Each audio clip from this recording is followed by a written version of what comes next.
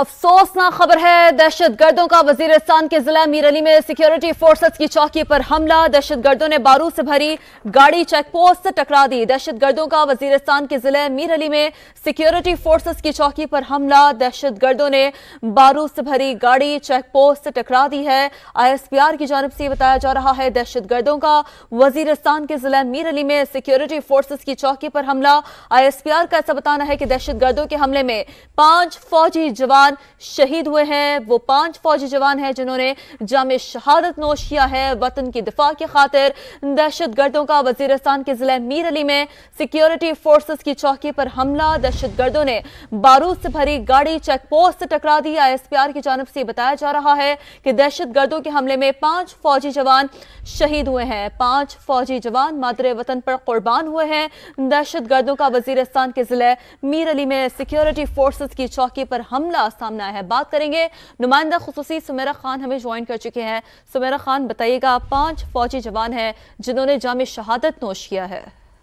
जी बिल्कुल ये अफसोसनाक खबर सामने आई है।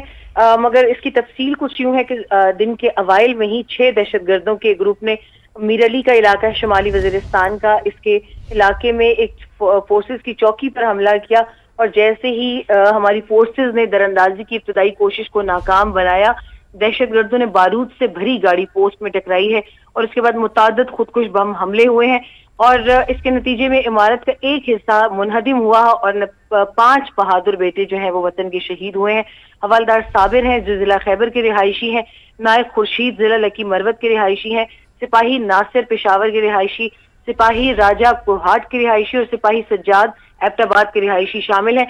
अभी क्लियरेंस ऑपरेशन के दौरान लेफ्टिनेंट कर्नल काशिफ की क्यादत में फोर्सेस के जो दस्ते हैं, वो मौसर तरीके से इस वक्त मसरूफ अमल है और तमाम छह दहशत गर्दों को उन्होंने जहन्नुम वासिल किया। ताहम फायरिंग के शदीद तबादले के दौरान सामने से जितने भी दस्तों की क्यादत करते हुए लेफ्टिनेंट कर्नल सैयद काशिफ अली, जो जो उनतीस साल के हैं कराची के रिहायशी और कैप्टन मोहम्मद अहमद बदर, जो तेईस साल के हैं और तलागंग के रिहायशी हैं, उन्होंने बहुत बहादुरी से मुकाबला किया है और कुर्बानी देते हुए मट्टी के ये दो बहादुर सपूत भी शहादत के रुतबे पर फाइज हुए हैं। इस वक्त सैनिटाइजेशन ऑपरेशन भी जारी है और तफसील मजीद ये है कि पाकिस्तान की सिक्योरिटी फोर्सेज इस वक्त इस इलाके में किसी भी मजीद दहशत गर्द की मौजूदगी के लिए आ, इलाके में ऑपरेशन कर रही हैं और इलाका मकीन जो है वो मुतद बार इस अर्ज़ को दोहरा चुके हैं कि हम फोर्सेज के साथ शाना बशाना मौजूद हैं और दहशत गर्दी की लानत को खत्म करने के लिए पुरज़म है। और ये बहादुर सिपाहियों की कुर्बानियाँ बिल्कुल रायगा नहीं जाएँगी। बिल्कुल, बहादुर सिपाहियों की ये कुर्बानियाँ कभी रायगा नहीं जाएँगी। तो मेरा साथ ही मौजूद रहेगा, दिफाई तजकार राशिद वली साहब और ब्रिगेडियर रिटायर्ड हारिस नवाज़ साहब हमारे ज्वाइन कर चुके हैं। बहुत शुक्रिया आप दोनों का समा को वक्त देने के लिए। सबसे पहले ब्रिगेडियर साहब, आपकी जानब आना चाहूँगी, क्या कहिएगा? यकीनी तौर पर इस बात में कोई दो राय नहीं है कि हमेशा की तरह बड़ी ही बहादुरी से मुकाबला किया गया है, लेकिन फिर भी पाँच फौजी जवान हैं जो कि मादरे वतन पर कुर्बान हुए हैं ब्रिगेडियर साहब। बात समझने की है कि ये ऑन गोइंग ऑपरेशन हैं टेररिज्म जब होता है तो कहीं ना कहीं वो कामयाब होते हैं। लेकिन साथ ये देखें कि वो छः के छः जो जैसे जहनम वासिल किए हैं और सैनिटाइजेशन का जब वो भी ऑपरेशन स्टार्ट हुआ हुआ है। इससे पहले पाकिस्तान मिलिट्री ने कितने ज़्यादा दहशत गर्दों को मारा है जो अफगानी नेशनल भी थे, ये भी देखने की बात है।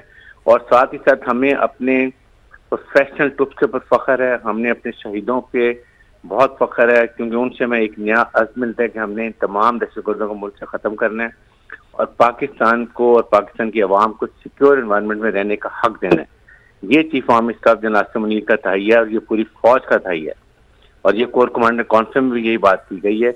इसलिए इन इंसिडेंट को हमें और ज़्यादा आज़म होता है, हमें हौसला होता है, हिम्मत होती है कि हमने इनका इनका बदला लेना शहीदों का, इनको हमने कभी छोड़ना नहीं है। और साथ साथ सिर्फ़ एक बात है कि इसके लिए पूरी कौम को मुस्तैद होना चाहिए। किसी लिहाज से भी चाहे हमारी यूथ है या आप सोशल मीडिया पर देखें everybody has to stand with the arm forces क्योंकि you fight as a nation कौम खड़ी होगी तो इनका मुकाबला करेगी। क्योंकि ये आपको पता है हमारा दुश्मन इंडिया किस तरीके से अफ़गानिस्तान में टीटीपी के साथ बीएलए बीएलएफ से मिल के पाकिस्तान के मुसल्ह फाज को नुकसान पहुंचाता है मकसद ही उसका सिर्फ़ एक ही है वो ये है कि फौज और आवाम को किसी तरीके से दूर कर दो।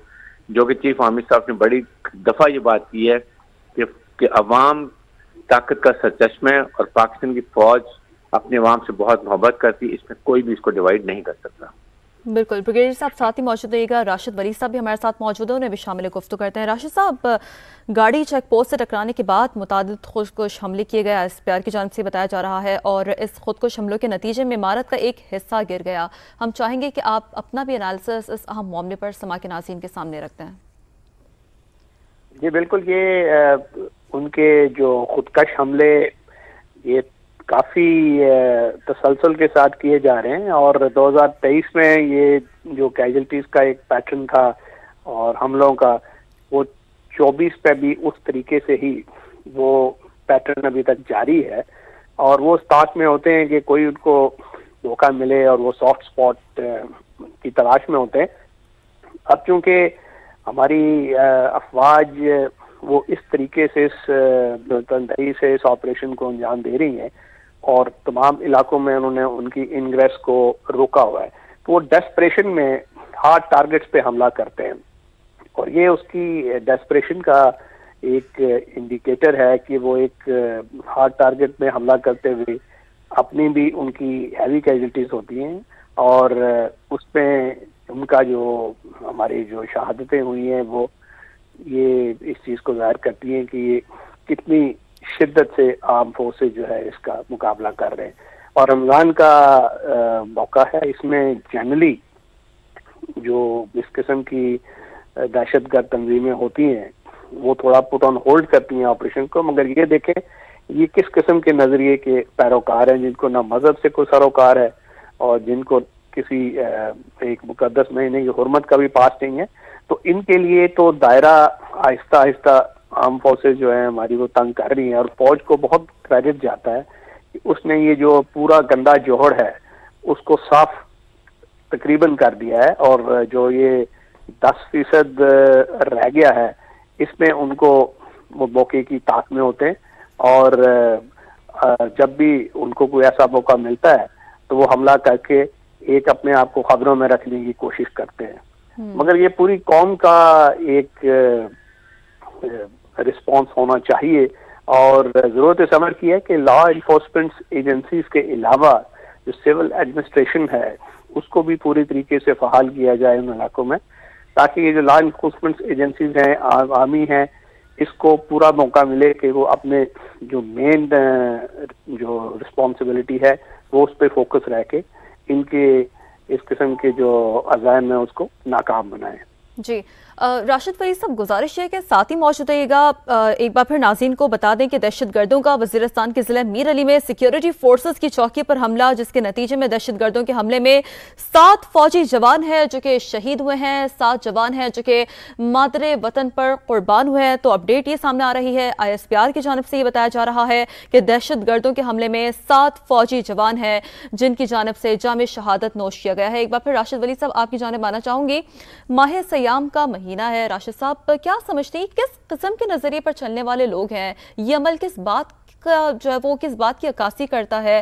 किस उजलत में ये हमला किया गया? आप क्या समझते हैं इस हवाले से? क्या राय रखते हैं देखिए मैंने ये ज़िक्र किया कि ये आ, किसी महीने की हरमत में इनको पास नहीं है। हम्म। ये लोग जुर्म और दहशत गर्दी इसका एक बहुत एक खतरनाक मिलाप हो चुका है।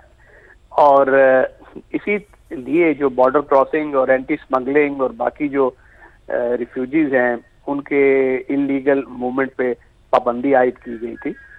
और हुकूमत ने जब उसको स्टेप्स लिए तो इनमें काफ़ी इसतराब फैला और इनके जो जो मुआवन होते हैं, मुआवनकार, उनकी लॉबीज ने कुछ शोर मचाना शुरू कर दिया, मीडिया पर भी। तो ये सारी चीज़ें इंडिकेट करती हैं कि ये जो क्रॉस बॉर्डर टेररिज्म हो रहा है और इनको सेंचुरीज अफ़गानिस्तान से मिलती है। वहाँ से इनको जो अमरीकी असला है वो उसको इस्तेमाल करते हैं। और हमारी जो आर्म फोर्सेज हैं उन्होंने बॉर्डर कंट्रोल मेजर्स लिए हैं। हम्म। और उसमें काफ़ी दहशत गर्दी की जो वाकयात हैं उस पर कमी हुई है। मगर जब आप अपना इलाका सिक्योर करते हैं और ये डेस्परेशन में दहशत गर्द अनासर किसी न किसी मौके की तलाश में होते तो उनको ये जब सॉफ्ट टारगेट्स के खिलाफ मौका नहीं मिलता और जब वो महसूस करते हैं कि उनको मूव करने में दुशारी है तो वो फिर जो सख्त टारगेट्स हैं, यानी कि हार्ड टारगेट्स आर्म फोर्सेस उनके ऊपर अटैक करते हैं, मगर इसमें कैजुअलिटीज उनकी भी ज़्यादा होती है। और हमारी भी आर्म फोर्सेस की ये लगातार एक शहादतों का सिलसिला जारी है और ये इस चीज़ को इंडिकेट करता है कि कितनी सख्त जंग ये हो रही है। और ये पूरी कौम को उसका ये आखिर आज तहसीन अदा करना चाहिए उन शहादतों का जो इस सख्त जंग में और जिसको डर्टी वॉर कहते हैं ग्रे जोन वॉरफेयर में ये जंग होती है। तो उसमें ये किस बिल्कुल ये बड़ा अहम पॉइंट है। राशिद वली साहब बहुत शुक्रिया। आप साथ मौजूद थे। ब्रिगेडियर रिटायर्ड हारिस नवाज़ साहब मौजूद थे। साहब मामले पर जो अपना एनालिसिस समा के नाजीन के सामने रखा। कमर चीमा साहब में ज्वाइन कर चुके हैं। उन्हें भी शामिल गुफ्तु करते हैं। कमर चीमा साहब उमूमी तौर पर देखा गया कि पाकिस्तान जब भी सियासी सहकाम की जानब बढ़ रहा होता है स्टेबिलिटी आ रही होती है हर जाविये से तो इस तरह के हमले किए जाते हैं। बिलखसूस ये भी बात जेर गौर है कि आई एम एफ़ से भी मुजाकर हमारे आखिरी मराहल में ही है। और ऐसे में एक स्मूथ जमहूरी प्रोसेस है जो कि पाकिस्तान ने देखा है। क्या समझते हैं? पड़ोसी ममालिक का कितना किरदार इस मामले में अहम हो सकता है, कमर साहब? बहुत शुक्रिया। देखिए जी, पहली बात तो यह है कि रमज़ान के दौरान तो दुश्मन भी जो है, वो सब्र करता है और आप चले जाएँ इस्लामिक हिस्ट्री में देखें तो रमज़ान में कोई कभी किसी पे हमला नहीं करता। इस महीने के अंदर आप जो है, वो अपनी इबादत करते हैं और नेक काम करते हैं। लेकिन ये देखें, ना इनको इस्लाम का कोई पता है ना इनको ना कोई नेशनैलिटी का पता है ना इनके अंदर कोई नेशनलिज्म है। और इस रमज़ान के दौरान पाक फौज और पाकिस्तान की अवाम पे हमला करना, मैं समझता हूँ ना ये कोई इंसानियत है और ना इस्लाम है, एक बात। दूसरी बात जो आपने की, देखिए, इस वक्त आपने बिल्कुल सही कहा कि पाकिस्तान के अंदर पॉलिटिकल एक नॉर्मलाइजेशन है, एक प्रोसेस चल पड़ा है। अब हम देखते हैं कि हुकूमत है, हम आईएमएफ प्रोग्राम के साथ को एम्ब्रेस करना चाहते हैं और बिल्कुल एक मैक्रो इकोनॉमिक स्टेबिलिटी पाकिस्तान में इस वक्त मौजूद है। आपका एक्सचेंज रेट बिल्कुल ठीक है। तो इस तरह की अफरा तफरी क्योंकि इन लोगों को पता है कि अब चाइनीज़ और बाकी जो हमारे अरब फ्रेंड्स हैं, वो पाकिस्तान में इन्वेस्टमेंट्स करने वाले हैं। पाकिस्तान में जो फॉरेन डायरेक्ट इन्वेस्टमेंट है उसको एक दफ़ा बढ़ेगी। इसी साल बढ़ेगी। और अभी आप देखें ये अगले आठ दस महीनों में जब ये इन्वेस्टमेंट आएगी एक्सचेंज रेट भी बेहतर होगा, जब चीज़ें बेहतर होंगी तो ये एक तासुर देने की कोशिश की जा रही है, जैसे पाकिस्तान के हालात बड़े खराब हैं। तो पॉलिटिकल नॉर्मलाइजेशन को भी धचका देने की कोशिश है लेकिन पाकिस्तान के लोगों ने 8 फरवरी को अपना वोट डाल के मुल्क के अंदर एक स्टेबल पॉलिटिकल हुकूमत को भी सपोर्ट किया है। पाकिस्तान के अदारे मिलिट्री हो या बाकी अदारे हों वो इस तमाम डेमोक्रेटिक प्रोसेस को सपोर्ट कर रहे हैं और यही वजह है कि नॉर्मलाइजेशन को देख के खत्े के ममालिक जो है अफ़गानिस्तान को खासतौर पर इस पर टेक केयर करना चाहिए कि वो ऐसे एलिमेंट्स को अलाउ ना करें पाकिस्तान के खिलाफ इस्तेमाल ना होने दें। पाकिस्तान एक रिस्पॉन्सिबल स्टेट है। अगर अफ़गानिस्तान चाहता है कि हम उनके साथ ट्रेड भी करें, बाकी सारी चीज़ें भी नॉर्मल हों देन उनको पाकिस्तान के लोगों की रिस्पेक्ट करनी होगी, पाकिस्तान की सोवरेनिटी की रिस्पेक्ट करनी होगी। और टीटीपी जैसे दहशतगर्द जमातों को खत्म करना होगा दैट दी ओनली वे हम अफ़गानिस्तान के साथ मूव ऑन कर सकते हैं। और रमज़ान में कम से कम कोई किसी पे हमला नहीं करता मैं समझता हूँ। ना ये इस्लाम के कोई पैरोकार है ना ये इंसानियत के पैरोकार बिल्कुल कमर चीमा साहब और दुश्मन ये बात भूल जाता है कि इन हमलों से ना ही पाकिस्तानियों के हौसले पस्त होते हैं ना फौज के। बेहद शुक्रिया आपने समा को वक्त दिया।